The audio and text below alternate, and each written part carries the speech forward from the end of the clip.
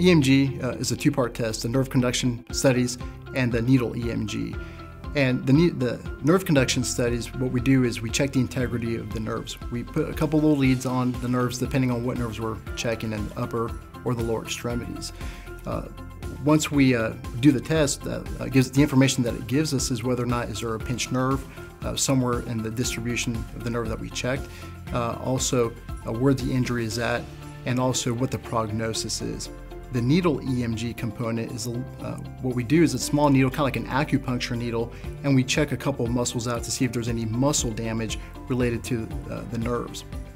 The test is very important because it helps the hand specialist determine what kind of treatment they're going to do if there is uh, a nerve injury in the upper extremity. And it will also help the spinal surgeon whether or not do they need surgery based on uh, the findings that we uh, find on the examination.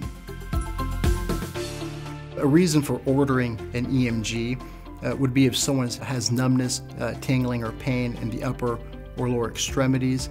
Uh, also, if there's any kind of weakness or atrophy or muscle loss in the upper or lower extremities. The most common study that we do is for carpal tunnel uh, or uh, for a radiculopathy or a pinched nerve in the upper uh, or lower extremities. The EMG can also be used to look for ALS or, uh, or neurologic conditions. So this information is, is very helpful for our upper extremity specialists and again for the uh, spinal surgeons. When we walk people through, they usually tend to tolerate the procedure very well. With regards to complications with an EMG, there's really hardly any complications or, or risk with the EMG.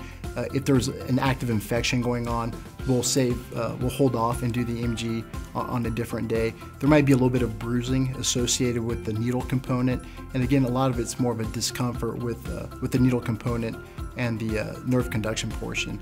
But like I said before, we really walk the patients through every step so that uh, there's no surprises at all during the procedure. An EMG will take roughly around 15 to 20 minutes depending on uh, the test results. Once we start doing the examination, if we start finding some abnormal findings, it might take a little bit longer, uh, but in general it takes about 15 to 20 minutes.